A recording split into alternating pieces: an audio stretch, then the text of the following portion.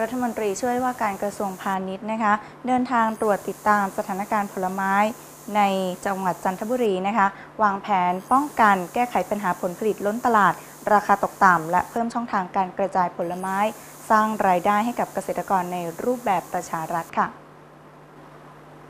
เช้าวันนี้ที่ห้องประชุมสีสารกลางจังหวัดจันทบุรี นายสุวิทย์ เมสินทรีรัฐมนตรีช่วยว่าการกระทรวงพาณิชย์ ได้นำคณะเดินทางมาตรวจติดตามสถานการณ์ผลไม้ ในพื้นที่ภาคตะวันออก เพื่อวางแผนป้องกันแก้ไขปัญหาผลผลิตล้นตลาด ราคาตกต่ำและเพิ่มช่องทางการกระจายผลไม้ออกจากพื้นที่แหล่งผลิต สร้างรายได้ให้แก่เกษตรกร โดยนายสมศักดิ์ปริสุทธโธเหมธานนท์ผู้ว่าราชการจังหวัดจันทบุรีนำหัวหน้าส่วนราชการและผู้ประกอบการที่เกี่ยวข้อง ให้การต้อนรับและบรรยายสรุป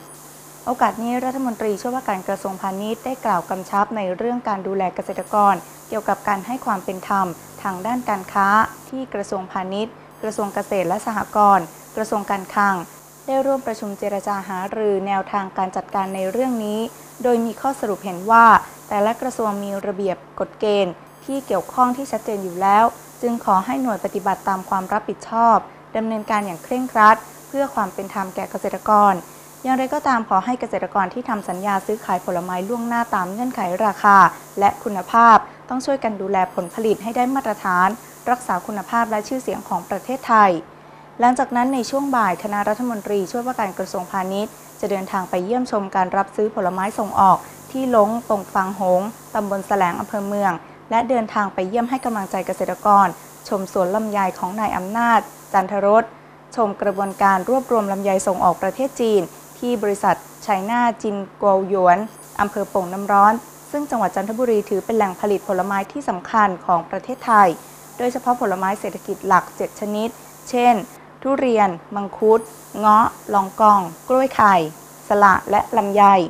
โดยจังหวัดจันทบุรีมีการบูรณาการหน่วยงานที่เกี่ยวข้องในรูปแบบประชารัฐ ในการดูแลผลผลิตของเกษตรกร ตั้งแต่การผลิต ให้ได้คุณภาพตามที่ตลาดต้องการ การปรับปรุงพัฒนาการบริหารจัดการ การกระจายสินค้าสู่ตลาดปลายทาง ทั้งในประเทศและต่างประเทศ รวมทั้งการติดตามสถานการณ์ประเมินแนวโน้มการตลาด การป้องกันแก้ไขปัญหาที่อาจจะเกิดขึ้นในช่วงที่ผลไม้ออกสู่ตลาดจำนวนมาก ในรูปแบบจันทบุรีโมเดล เป็นแบบอย่างในการป้องกันแก้ไขปัญหา และส่งเสริมรายได้เกษตรกรอย่างยั่งยืน